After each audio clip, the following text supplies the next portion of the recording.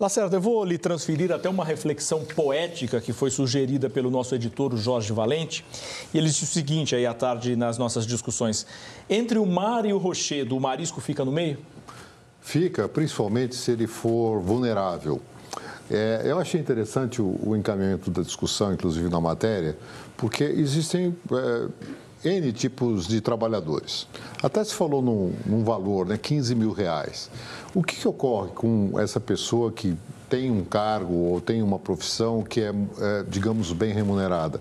É que, muito provavelmente, na discussão desse valor econômico, ele já embutiu aqueles benefícios que ele receberia é, se fosse CLT como um décimo terceiro, uma, um adicional de férias e outros.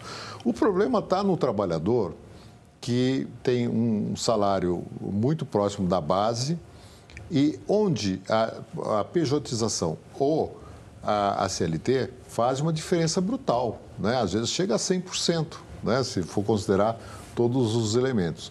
Então é isso, quer dizer, o, o bom senso eh, deveria caminhar em se evitar que a pejotização uh, especialmente para os hipossuficientes, vamos dizer, do ponto de vista da remuneração do trabalho, sejam precarizados e superexplorados. Né? Eu acho que esse é o ponto fundamental.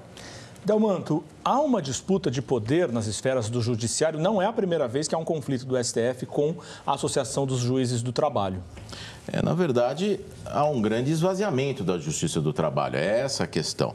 Porque dá perfeitamente para compreender. O Supremo Tribunal Federal botou essa régua dos 15 mil reais, ou seja, não são pessoas hipossuficientes e muitas vezes não querem ter um vínculo mesmo, querem poder ter outro trabalho, querem poder trabalhar em casa, ter outro tipo de, de relação. Muitas vezes não querem, programadores, eles querem ter dois, três é, é, trabalhos, não necessariamente um CLT que tem horário, hierarquia. Então, tem determinados os jornalistas, atores de televisão, é, é outros, dentistas, tudo, tudo pejotizado.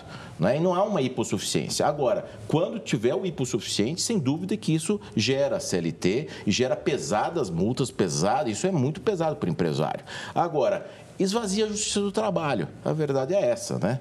E talvez aí é, é, há uma, uma dissonância, mas eles têm que respeitar a decisão do Supremo Tribunal Federal neste momento histórico, né? Pode ser que no futuro mude de novo, mas o Supremo foi para uma, uma linha mais liberal e dizendo: você tem liberdade de contratar, você não é um hipossuficiente. Você quer receber 15 mil, 20 mil, já está embutido aí tudo, você não vai ter 13 terceiro, não vai ter férias, mas você tem a liberdade também.